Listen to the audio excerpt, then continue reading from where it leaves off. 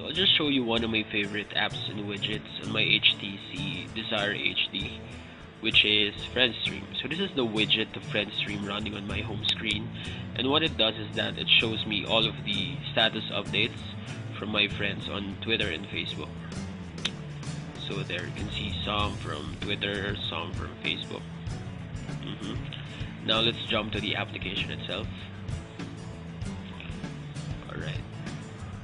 So the FriendStream app, aside from showing the status updates from my friends from various social uh, networking accounts, also shows their photos and videos, the ones that they've just uploaded, and also the links that they've posted on their status updates.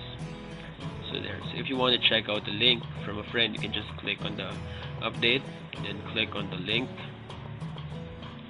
and then you can complete the action using any of the browsers installed on the smartphone. There. Jump back. There. So aside from the links, you can also view uh, your friends lists there and as well as all of the notifications from your various accounts so what's good about this application is that uh, it shows you everything in one location. So you don't have to jump from one application to another just to view status updates from your friends. Uh, and it saves you time.